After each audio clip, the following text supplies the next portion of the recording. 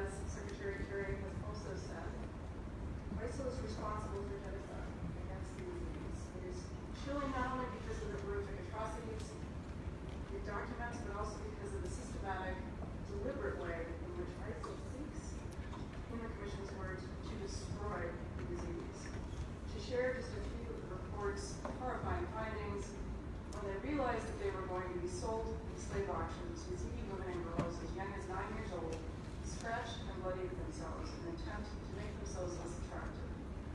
At ISIL's main holding site in Raqqa, one girl tried to kill herself rather than be sold, throwing herself out of the second floor of a building. She survived. She was severely injured in a fall. ISIL fighters left her on the ground and prevented anyone from helping her. To set an example for other captives, the report estimates that 3,200 Yazidi women and children are still being held by ISIL to this day. Ms. Ambassadorship is a reminder of our collective responsibility to the Yazidi people to continue to liberate territory and people held by ISIL, who in addition to the Yazidis include Christian, Sunni, and Turkmen people, who have also endured unspeakable abuses, to ensure that those who are freed or escaped have the support they need to heal their wounds and rebuild their lives, and to bring the perpetrators of these deplorable crimes to justice. Ms. Murad's appointment will bring much needed attention to international efforts to end human trafficking. Trafficking is estimated to generate $150 billion a year in revenue.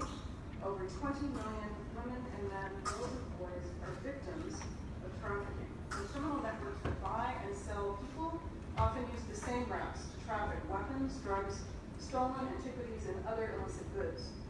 We know that these activities sustain armed groups, terrorists, and organized crime groups, and we know that human traffickers often force their victims to commit crimes, including terrorist acts. All of these illicit activities undermine our shared security. Simply put, we need an international response that is commensurate with the scale of human trafficking, capable of working seamlessly across borders as traffickers. Ms. Murad's leadership will help us keep human trafficking on the Security Council's agenda, as Spain intends to do with its presidency in December.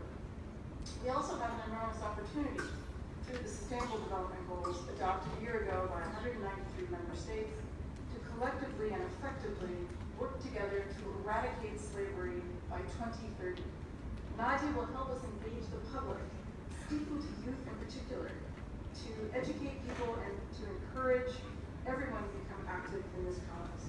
Ms. Murad's appointment is so important because of her unique journey from victim to survivor to advocate. She's the first ever goodwill ambassador on human trafficking who is herself a survivor. That is a great honor and a testament to her resilience. We, all member states, and the UN must find more ways to empower survivors so that we can all learn from the knowledge and experience, and that is why President Obama U.S. Advisory Council on Human Trafficking in December 2015, providing input and expertise across government agencies on human trafficking policies. All 11 members of the council are survivors. One of those members, Shandra Woworuntu, is here with us today. It's not just their experience that makes trafficking survivors ideal advocates, it's the hope they offer other survivors.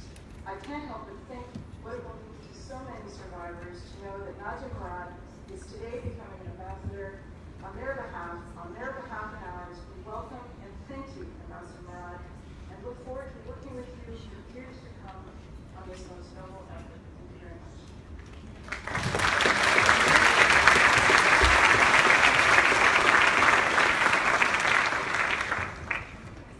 and Mrs. Ban and the President of the General Assembly made it here from the General Assembly. And we're very honored to have the Secretary General here today. I'm just taking the time, I, instead of making my large introduction about the Secretary General, I'm just going to give the Secretary General the floor because I know he has a very big schedule. We're so delighted that you could extract yourself as you, you did.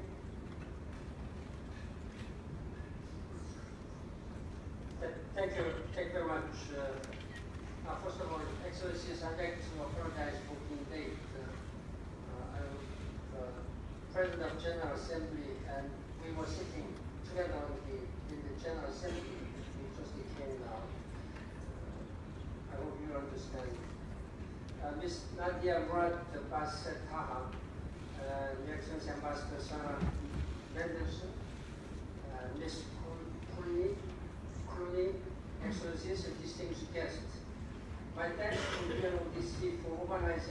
very special event. Uh, today we are giving a real meaning to the International Day of Peace with this appointment. Honored to name Ms. Nadia Murad Asset Khan as a Goodwill Ambassador for the dignity of survivors of human trafficking of the United Nations Office on Drugs and Crime. Nadia is a fierce and tireless advocate for the Yazidi people and victims of human trafficking everywhere. Uh, she was subjected to unspeakable abuse and human rights violations at the hands of ISIL. Nadia has shown exceptional courage in speaking out. She gives a much needed voice uh, to trafficking victims who continue to suffer and who demand justice. Many of us were moved to tears by her powerful testimony at the first ever UN Security Council session on trafficking in persons in situations of conflict last December and at the World Humanitarian Summit in Istanbul in May. Nadia shows with her life how important it is to fight for trafficking victims. They deserve justice, and when we empower them, they can help transform our world. Excellencies, distinguished guests, it is two years since ISIL seized Sinjar. It is unconscionable that thousands of Yazidi, particular women and children, continue to be held captive. I call for their immediate release. And I repeat, the crimes committed by ISIL in Iraq against the Yazidi may constitute war crimes, crimes against humanity, and even genocide.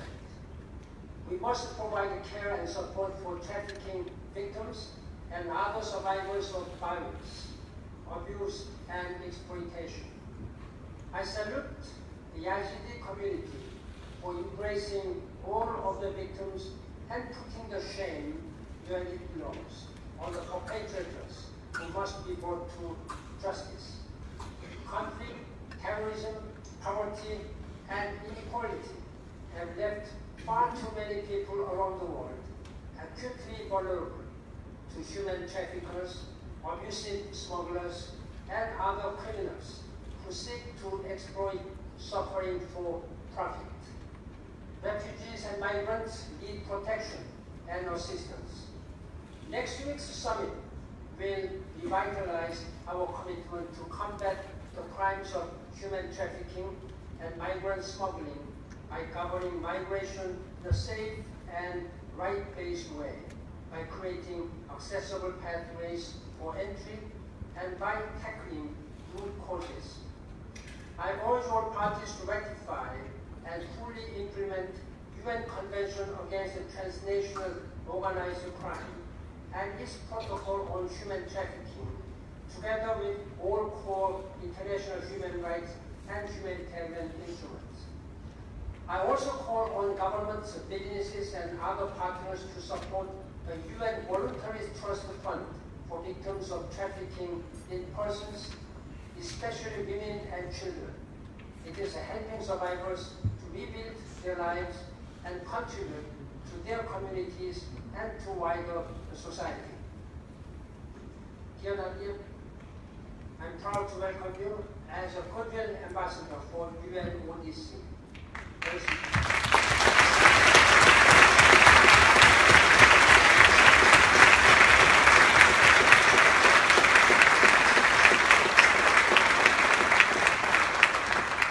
There is no better testament, testament to human resilience and the UN spirit of than the strength, dignity, and extraordinary courage you show every day in telling your story and working for a better world. Thank you.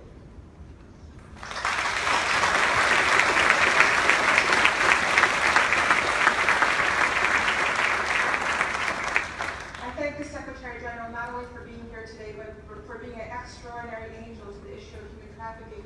Since you and Mrs. Ban were first in this room on September 19, 2007, when we had the first movie premiere about um, human trafficking here, I remember what you said to us and all the ambassadors who were working on human trafficking right after that film. keep the lights, action, and camera on this issue.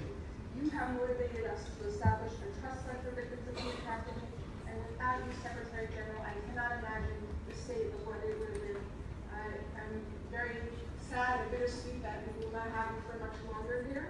I hope that the next Secretary General follows in Secretary General Ban Ki-moon's um, light in terms of being such a champion on this issue. I remember, and I'll just say this one last thing, Secretary General, at the World Humanitarian Summit, you were just about to give your remarks in the opening, and we asked you at the very last minute, did you see Nadia Murad Basitana? And you dropped everything. And we put the meeting in the hallway so that you wouldn't be disturbed. And you said, no way, I'm doing this in my office. And you kicked us all out, and you met with her. And you met with her like a father. And that is the body that I saw and that I will always remember. Thank you,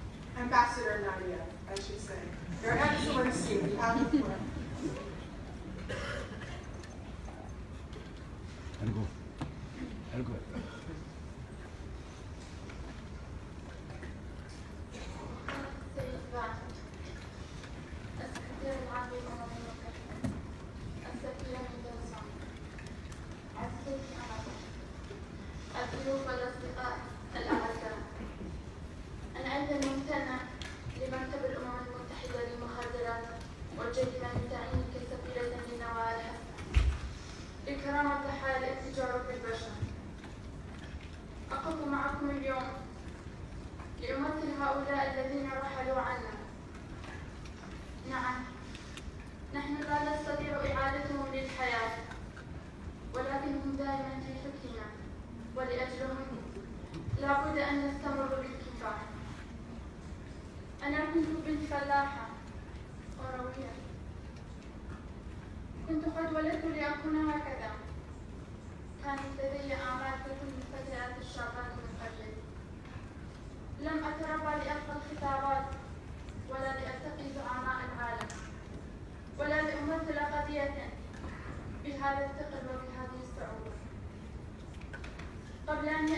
Shri Ram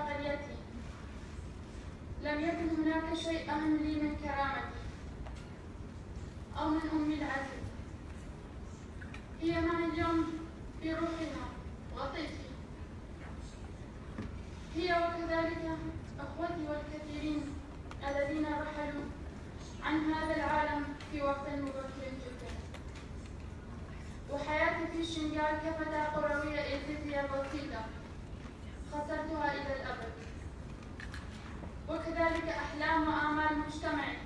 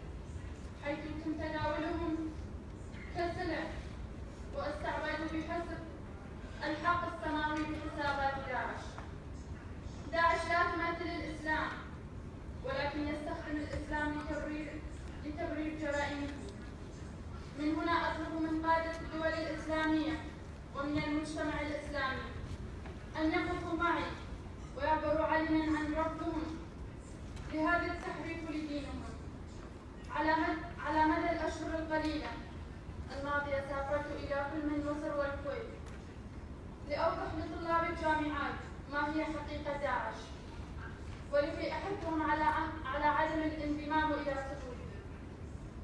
أنا فخورة لاختيارك سفيرة لنوال حسنة للأمم المتحدة لأجل كرامة الملايين من الناجيات من عمليات الاتجار بالبشر من حول العالم. أعداد الضحايا توازي عدد بعض الدول. أعيش لربما أملك القدرة لاستخدام قلبي لكي أكون صوتا اليوم أنا أتكلم باسم الآلاف من اللاجئين والأشخاص المضطهدين الذين نزحوا من أماكنهم ويعانون في مخيمات اللاجئين في كردستان العراق وفي سوريا وفي كل مكان. أنا أحث أعضاء الأمم المتحدة بقبول اللاجئين وطالبي اللجوء وخاصة للفئات المضطهدة من الذين أصبحوا ضحايا الإبادة الجماعية أو الاتجار بالبشر فيجب علينا أن نساعدهم أشكر مجتمعي الذي تقبلني وتقبل جميع الناجيات بقلب كبير. أشكر ألمانيا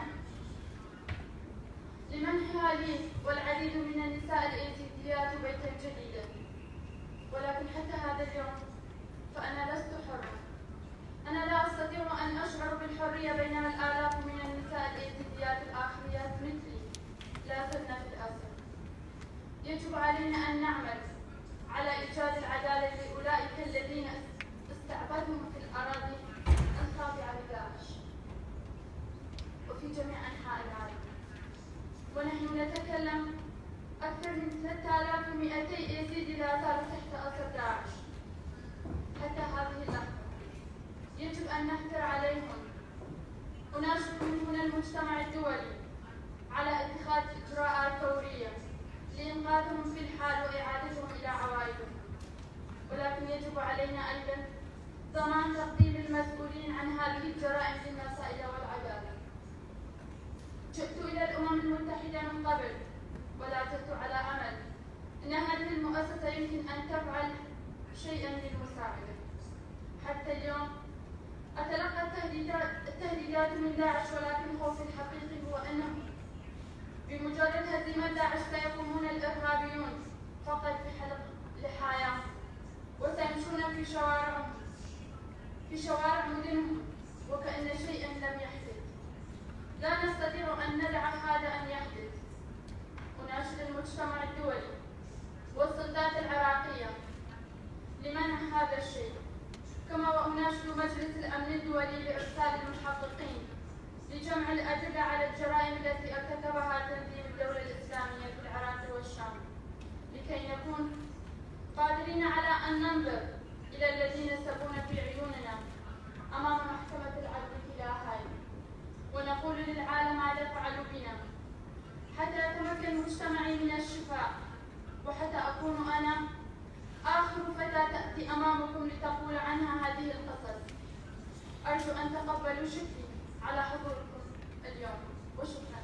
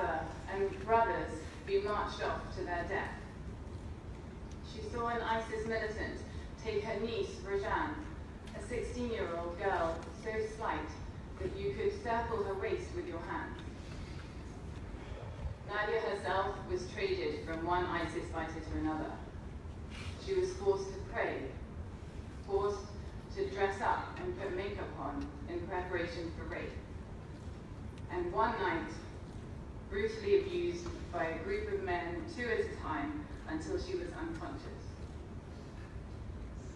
She has shown us the scars from cigarette burns and beatings, and she has told us that throughout her ordeal, ISIS soldiers would call her a dirty unbeliever and brag about conquering Yazidi women and wiping their religion from the face of the earth. Nadia was one 6,700 Yazidis taken by ISIS two summers ago to be sold in markets and on Facebook, sometimes for as little as $20. Nadia's mother was one of 80 older women who were executed and buried in an unmarked grave. her brothers, part of a group of 600 who were murdered in a single day. Make no mistake, what Nadia has told us about is genocide.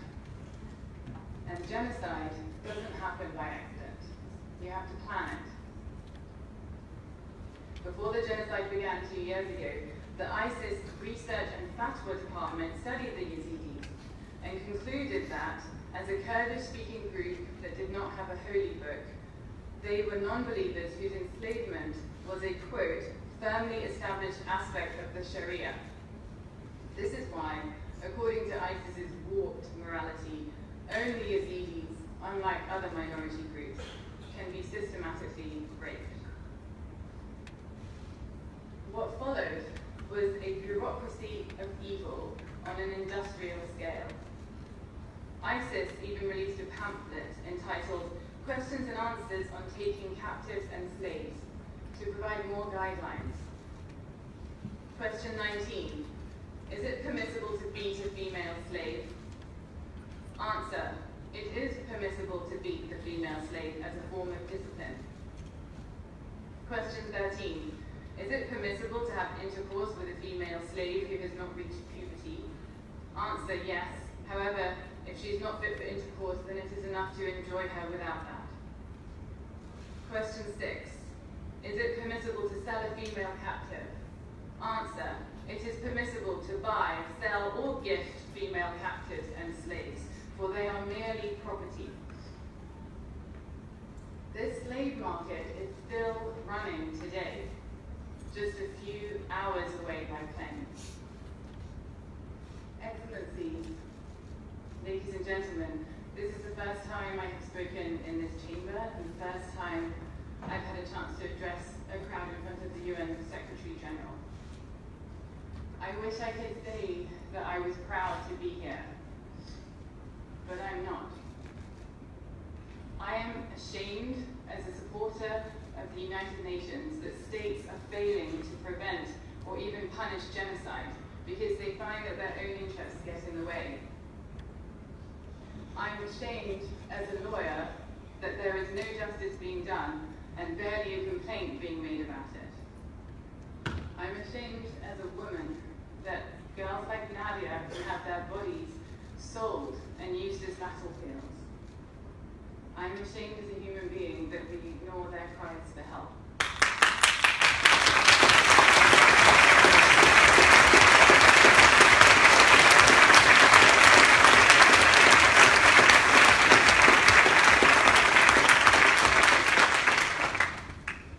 We know that what we have before us is genocide, and we know that it's still ongoing.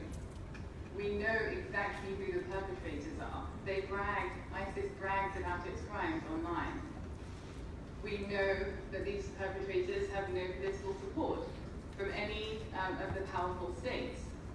And there is no one more blameless than a young Yazidi girl who has lost everything and who today comes before you and asks for your help.